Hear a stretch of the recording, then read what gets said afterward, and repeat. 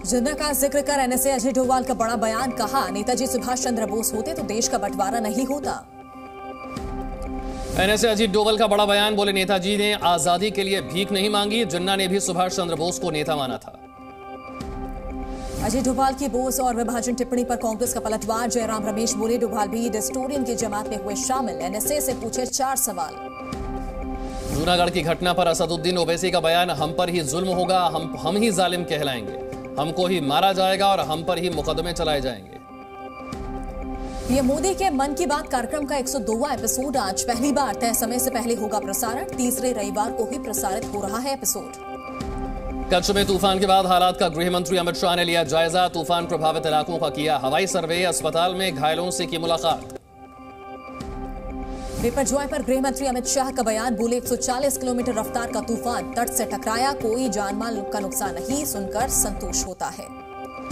चंबा हत्याकांड की एनआईए से जाँच पर अड़ी बीजेपी हिमाचल प्रदेश के सभी जिलों में किया प्रदर्शन राज्यपाल के नाम सौंपा ज्ञापन।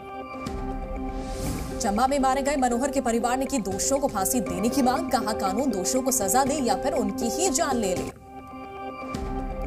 उमेश पर हत्याकांड में अतीक के बहनोई और वकील समेत आठ आरोपियों के खिलाफ चार्जशीट दाखिल सभी आरोपी जेल में बंद। मणिपुर में मैतेई समाज की महिलाओं ने किया प्रदर्शन। राज्य में एनआरसी लागू करने और 19 कुकी विधायकों का योग्य ठहराने की मांग। मणिपुर में भीड़ ने खोंगमन इलाके में बीजेपी नेताओं को बनाया निशाना। बीजेपी दफ्तर में की जमकर तोड़फोड़।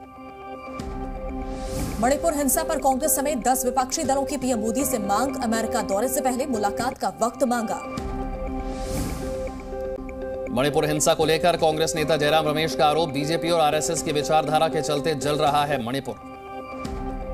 कांग्रेस नेता सलमान खुर्शीद ने केंद्र सरकार को मणिपुर हिंसा के लिए ठहराया जिम्मेदार कहा देश में आज नफरत और बांटने की राजनीति हो रही है। मणिपुर हिंसा पर महाराष्ट्र कांग्रेस के अध्यक्ष नाना पटोले ने पीएम मोदी को घेरा कहा देश जल रहा है और प्रधानमंत्री विदेश घूमने जा रहे हैं। छत्तीसगढ़ सीएम भूपेश बघेल ने फ़िल्म आदि पुरुष पर बोला हमला कहा भगवान राम और हनुमान की छवि को खराब करने की कोशिश हनुमान जी से बुलवाए गए बजरंग दल जैसे डायलॉग फ़िल्म आदि पुरुष पर आरजेडी ने भी जताया एतराज़ मृत्युंजय तिवारी बोले धर्म और आस्था से खिलवाड़ बर्दाश्त नहीं। एमपी में भी फ़िल्म आदि पुरुष पर बवाल फ़िल्म को बैन करने की उठी मांग। हिंदूवादी नेताओं ने फ़िल्म को बताया सनातन संस्कृति का अपमान। आदि पुरुष फ़िल्म को लेकर अयोध्या के संतों ने जताई नाराज़गी। संतों ने की फ़िल्म पर रोक लगाने की मांग।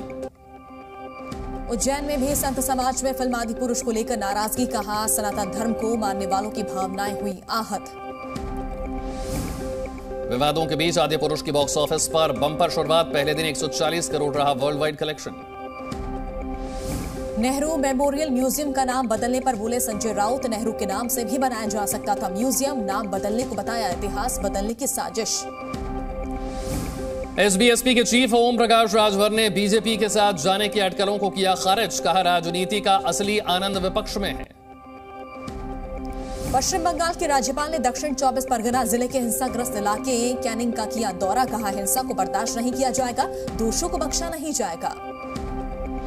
बंगाल के कूच बिहार में फिर केंद्रीय गृह राज्य मंत्री निशित प्रमाणक के काफिले पर हमला टीएमसी कार्यकर्ताओं पर लगाया आरोप। काफिले पर हुए हमले को लेकर निशीथ ने ममता सरकार पर बोला हमला कहा मूक दर्शक बनी रही पुलिस ममता बनर्जी के इशारे पर कर रही काम। बंगाल में हिंसा को लेकर बीजेपी के प्रदेश अध्यक्ष सुकांता मजूमदार ने राज्यपाल सीवी आनंद बोस से मुलाकात की निशित के काफिले पर हमले की जानकारी दी। आज पंजाब हरियाणा में गृह मंत्री अमित शाह की रैली मोदी सरकार के नौ साल की गिनाएँगी उपलब्धियाँ। अमेरिका में बाइडेन मोदी की मुलाकात में पाँच महत्वपूर्ण मुद्दों पर होगा मंथन। स्वास्थ्य प्रौद्योगिकी नवीकरणीय ऊर्जा शिक्षा और रक्षा पर चर्चा होने की उम्मीद। पीएम मोदी के अमेरिका दौरे पर विदेश मंत्री एस जयशंकर का बयान कुछ ही लोगों को ऐसा सम्मान मिलता है जो पीएम मोदी को विदेशों में मिल रहा है। गोडा में ब्रजभूषण सिंह के साथ सेल्फी लेने के दौरान हुआ बवाल और पथराव पर एक्शन। पुलिस ने दो नामजद और तेरह अज्ञात लोगों के खिलाफ मुकदमा दर्ज किया। माफियाती गैंग के अवैध कब्जे पर पीडीए की बड़ी कार्रवाई 200 बीघे से अधिक की अवैध प्लॉटिंग पर चला बुलडोजर। हैदराबाद में बुरका और हिजाब को लेकर नया विवाद। छात्राओं को बुरका पहनकर कॉलेज में एग्ज़ाम देने से रोका गया। गृह मंत्री महमूद अली ने कहा, हमारी नीति पूरी तरह से धर्मनिरपेक्ष। झांसी में जबरन धर्म परिवर्तन का मामला शख्स पर शादी का झांसा देकर शारीरिक संबंध बनाने का आरोप। संभल में नमाज़ पढ़ने पहुँचे समाजवादी पार्टी और बीजेपी के कार्यकर्ताओं के बीच झड़प पुलिस ने सात आरोपियों को किया गिरफ़्तार। मुंबई कांग्रेस के दफ्तर में युवा कांग्रेस की बैठक में जमकर चली कुर्सी। युवा कांग्रेस अध्यक्ष कुणाल राउत के इस्तीफे की मांग को लेकर विवाद हुआ। बिहार में हीट वेव से आठ लोगों की मौत मौसम विभाग की चेतावनी के बाद 24 जून तक स्कूलों को बंद रखने का आदेश जारी। लखीसराय में बड़े हीट स्ट्रोक के मरीज़ सदर अस्पताल में 20 बेड का वार्ड तैयार किया गया। गुवाहाटी में भारी बारिश के चलते ब्रह्मपुत्र नदी का जलस्तर बढ़ा असम में बाढ़ का खतरा। शाहजहांपुर में डांस करते वक्त युवक की मौत डॉक्टर्स के मुताबिक हार्ट अटैक से हुई मौत। सहारनपुर में शख्स ने अवैध पिस्टल से केक पर चलाई गोली एसपी ने दिए कार्रवाई के आदेश। रूस यूक्रेन युद्ध के बीच पुतिन से मिला अफ्रीकी नेताओं का डेलीगेशन पुतिन बोले यूक्रेन को लेकर रचनात्मक बातचीत के लिए तैयार है। रूसी सैनिकों के कब्जे से छुड़ाए एक गाँव को यूक्रेनी सैनिकों ने पत्रकारों को दिखाया। रूसी गोलीबारी में पूरी तरह तबाह नज़र आया इलाका। सऊदी अरब और ईरान के बीच सुधर रहे रिश्ते सात साल बाद पहली बार तेहरान पहुँचे सऊदी के विदेश मंत्री। ईरानी ईरान के विदेश मंत्री के साथ मुलाकात की।